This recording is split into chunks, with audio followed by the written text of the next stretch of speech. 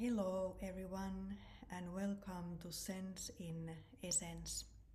Today we are going to explore self realization. But let's check first what is a definition of realization? A realization is the act of becoming completely aware of something. A realization is a gradual or sudden understanding of something. I would like to share my own story when I was a student in a business school. And I have always been so bad in mathematics. And then one year, the thought just came into me I have to improve this little bit. But completely no interest at all. But there was this kind of realization from the heart that if I want to work in the business field later, I have to increase my ability to understand mathematics.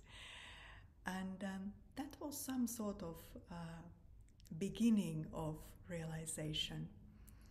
And then I was trying, I was trying to understand one formula, and it was so difficult. But then I decide that I'm changing my thinking. I'm thinking I'm going to understand this, this is interesting, this is easy, this is simple. And this led into a realization. It was like aha moment. and it was such a beautiful moment when I understood it properly. Oh, this is how the formula works. And uh, after that realization, I had so much more enthusiasm to learn more. And I was able to improve my uh, numbers.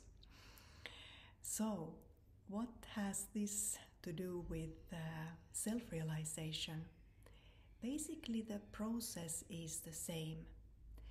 First, there has to be the realization that yes, there is some benefit in self realization. So, when there is this kind of realization, then I'm starting to find knowledge. And then I find spiritual knowledge, which is telling that, oh, this is so amazing. That when you are realizing yourself, you are basically finding everything because we are spiritual beings, we are eternal, full, complete, and perfect. This is something who we truly are. But why don't we experience it? Because there is no self realization.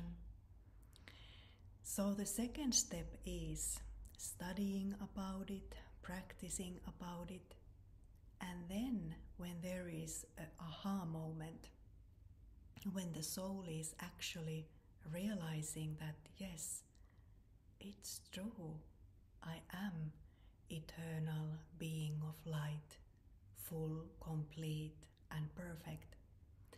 That moment is the best gift anyone can get. It's like awakening from the uh, nightmare. Sometimes it is not even a nightmare, sometimes it is just a nice dream. But always when we are waking up, the reality is much, much more beautiful than the dream. And in this case, reality is always beautiful. It's the best truth ever.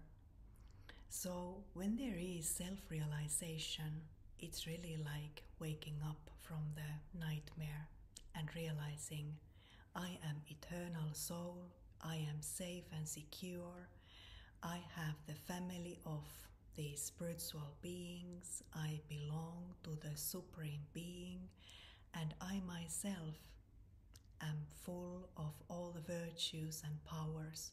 How fortunate I am. Thank you.